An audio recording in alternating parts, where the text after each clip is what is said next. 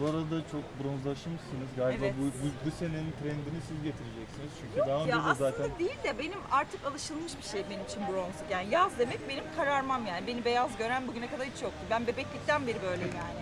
Hani belli bir yaşta baş 3 yaşına 4 yaşına resimleri var bikinili. Güneşleniyorum böyle. Yani hep güneş aşığı bir kızdım.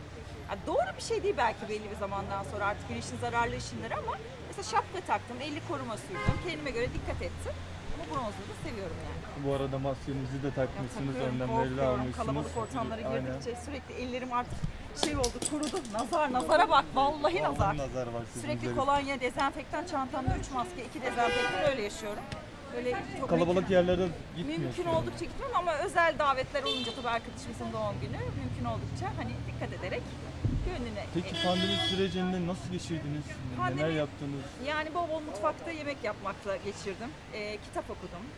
Ee, biraz daha kendimle baş başa kaldım diyelim. Yani düşünmek için çok zamanım oldu. Hayatta yaptığım yanlışları düşündüm. Bundan sonra neler yapmam gerektiğini düşündüm. Yani benim için bir dönem kapandı, yeni bir dönem başladı.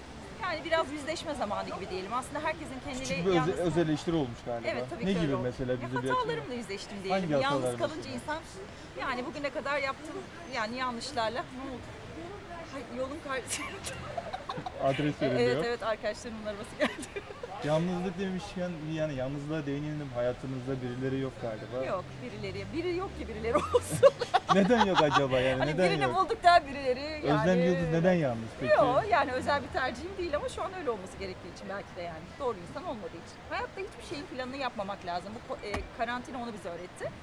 Hayat önümüze ne sunarsa onu yaşıyoruz Peki gerçekten. yaş kriteri sizin için var mıdır? Mevcut. Şu an mesela arada 20 yaş farklı olan bir E, çok, ünlülerimiz var. çok arasında istediğim yani. bir şey değil ama büyük konuşmamam. Hiçbir şey için konuşmam. Öyle aşka Yani hiç sıcak konuşmam. bakıyorsunuz. Mesela Sıcak Ser- bakmıyorum Serenay ama ile Cem büyük Yılmaz de konuşmam yani.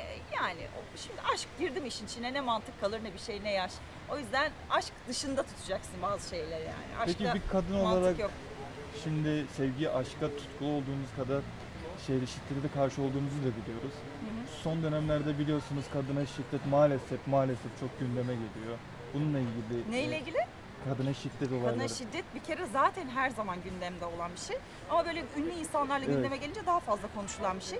Hayatın hiçbir döneminde desteklenecek bir şey değil.